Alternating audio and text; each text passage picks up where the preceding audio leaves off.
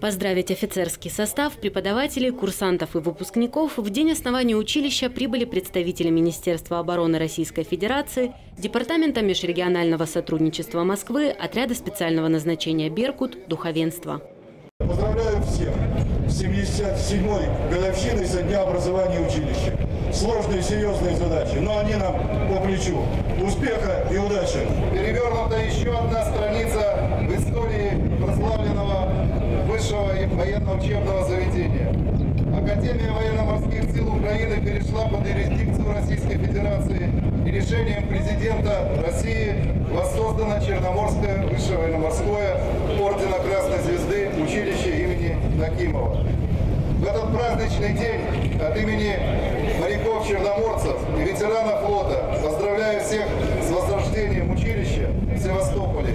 Желаю вам крепкого здоровья, неиссякаемой энергии, бодрости духа, мира и благополучия, успехов в ратных делах на благо нашей любимой Родины, Российской Федерации и ее военно-морского флота. С напутственным словом к курсантам военно-морского училища обратился и его начальник, контр-адмирал Игорь Смоляк. Возрождение училища, которое носит имени, имя адмирала Рахимова, является одной из приоритетных задач военно-политического руководства страны. Не сомневаюсь, что из стен вы выйдете офицерами, которые сделают часть военно-морскому флоту России. Желаю всем 7 футов под килем. Данное учебное заведение в годы СССР считалось элитным. После распада Союза его дважды переименовывали. Сделали сначала институтом, а после академией, но при этом оно утратило былый статус и славу. Все отсчитывают от 91 -го года, что совершенно неверно.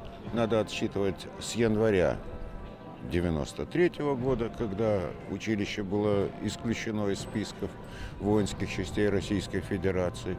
И вот и вот мы по новой возрождаемся, рождаемся. Мы просто рождаемся.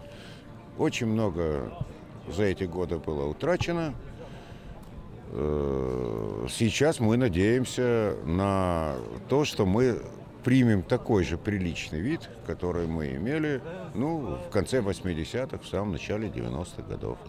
Вот. Какая-то база у нас есть, а главное, есть те педагоги, которые способны подготовить новое поколение офицеров для российского флота.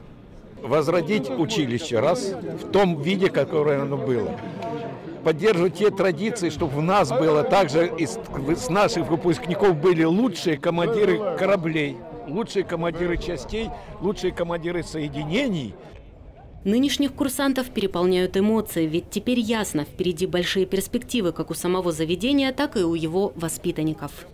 В первую очередь чувство гордости, потому что все-таки это легендарное училище, которое выпускало уже много достойных офицеров. И, в принципе, это, с одной стороны, это у нас будет больше возможностей послужить на кораблях и добиться большего здесь.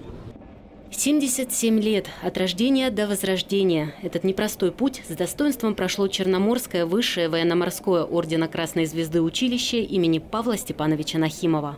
Наталья Данилова, Дмитрий Лилека, Севинформбюро.